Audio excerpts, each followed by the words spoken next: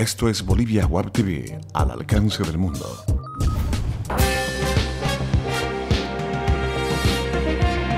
A continuación, Bolivia Web TV presenta Bolivia News. Gentiles amigos, amables cibernautas, bienvenidos a Bolivia Web TV al alcance del mundo. Este es su encuentro diario con las principales informaciones desde Bolivia para el mundo. Mi nombre es Erwin Bazán, bienvenidos. Vamos con las noticias de este jueves 29 de enero.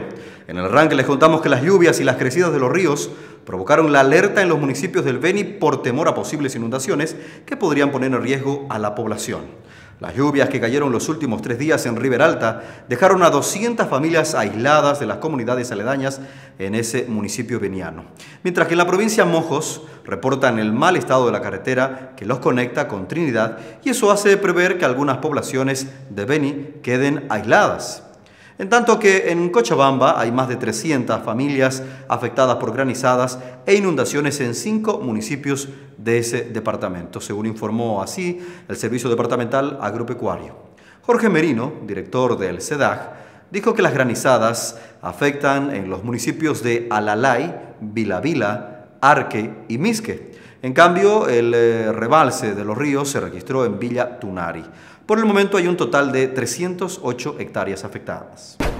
La Cámara de Senadores aprobó ayer en sesión ordinaria las 10 comisiones para la legislatura 2015-2016.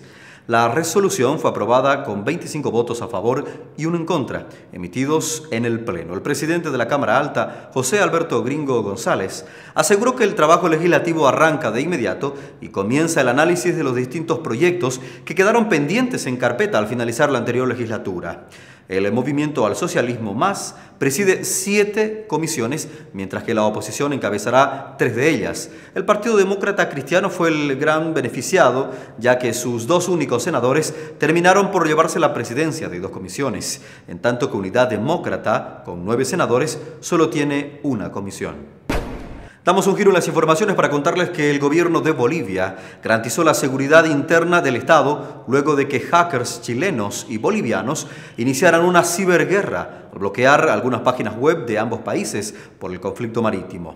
El eh, presidente en ejercicio Álvaro García Linera recomendó mejorar la protección de sitios oficiales de entidades estatales. El 11 de enero y el martes pasado, las páginas electrónicas de la Policía Boliviana y la Armada fueron inhabilitadas o hackeadas por un grupo de cibernautas o ciberactivistas chilenos autodenominado Chilean Hackers quienes colocaron una imagen con la bandera chilena y el mensaje ofensivo en los sitios oficiales de ambas organizaciones. En tanto que horas después, un grupo llamado arroba Bolivian Next Hackers atacó el portal conochile.cl, que pertenece a una empresa que promociona el turismo y la hotelería en ese país, también colocando mensajes y fotos insultantes. A partir del 2 de febrero, los productores agropecuarios recibirán las tarjetas de control que entregará la Agencia Nacional de Hidrocarburos para la compra y transporte de volúmenes comprendidos entre 121 litros hasta 1.200 litros de diésel oil.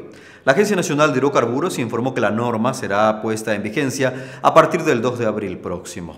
Las tarjetas serán emitidas previo registro gratuito en la Dirección General de Sustancias Controladas, según indicó el director técnico de la Agencia Nacional de Hidrocarburos, Norton Torres. El presidente de Perú, Ollanta Humala, le pidió a su homólogo de Bolivia, Evo Morales, que expulse prontamente al empresario Martín Belaún del Ocio de su país para que pueda ser juzgado por los tribunales peruanos, informó eh, la agencia EFE. El canciller peruano Gonzalo Gutiérrez. El lunes pasado, eh, Morales, presidente de Bolivia, confirmó en entrevista con Telesur que había conversado con Humala sobre el tema y declaró que Bolivia no va a ser basurero de corruptos, no va a protegerlos pero cumplirá con los procedimientos internacionales para que Belaún del Ocio vuelva a Perú. En tanto que el abogado del empresario peruano Jorge Valda lamentó las aseveraciones de Morales y descartó la posibilidad de expulsión de su defendido por las leyes bolivianas, aunque la CONARE ratifica su rechazo a su solicitud de refugio. La fiesta y la alegría carnavalera llegaron a Cochabamba, luego de que la alcaldía lanzara ayer oficialmente el Carnaval 2015 Tradición Bayuna, con el objetivo de recuperar las costumbres locales. El secretario de Cultura, Ubaldo Romero, informó que la festividad contempla 21 actividades durante 39 días. La primera actividad tendrá lugar el 31 de enero con la entrada precarnavalera que partirá del Parque La Torre y concluirá a la altura de la Unidad Educativa Loredo con 35 fraternidades participantes. Entre las novedades del Carnaval Cochabambino para el 2015 están la entrada de comparsas tradicionales y la elección de la ñusta del Carnaval prevista para el 14 de febrero en la Plaza 14 de septiembre. Se espera la participación de al menos 10 provincias, además de una entrada para adultos mayores para cerrar el carnaval bayuno. Revisamos ahora el comportamiento de las principales divisas del planeta.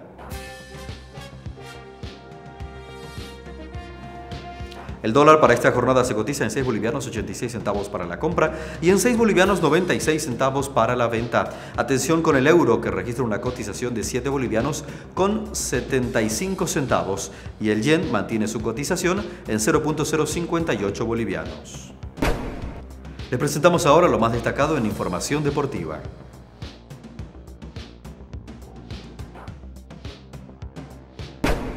El Nacional de Natación, modalidad Fuerza Libre, abrió el telón en Sucre. El campeonato de Fuerza Libre comenzó ayer en la piscina El Rollo de Sucre, con la participación de delegaciones de cinco departamentos del país. En el torneo de Fuerza Libre, que reúne a atletas de la categoría élite, participan deportistas de La Paz, Beni, Cochabamba, Santa Cruz y el anfitrión Chuquisaca, que se presenta con 21 deportistas. El representativo cruceño es favorito para conseguir medallas doradas en varias de las principales categorías. Atención que estos son los resultados de la fecha 3 de la Liga del Fútbol Profesional Boliviano. En Pando, Bolívar le ganó sufriendo hasta el último momento a Universitario por dos goles a cero. El gol del triunfo celeste llegó en tiempo de adición. En Potosí, Wilserman le robó un punto a Real Potosí al empatarle en la misma Villa Imperial 1 a 1. En La Paz, Strongers empató con Blooming a un gol por lado. De esta manera los cruceños se traen un punto valioso de una plaza complicada. Hoy se completa la tercera fecha liguera con los siguientes partidos. En Santa Cruz se enfrentarán Oriente Petrolero con Universitario de Sucre. En Yacuiba, Petrolero se enfrenta a Nacional Potosí y completan en Oruro San José frente a Sport Boys de Warnes. Amigos de Bolivia Web TV, esto es todo en informaciones para esta jornada de jueves 29 de enero. Volvemos en cualquier momento para actualizar estos y otros temas. Permiso.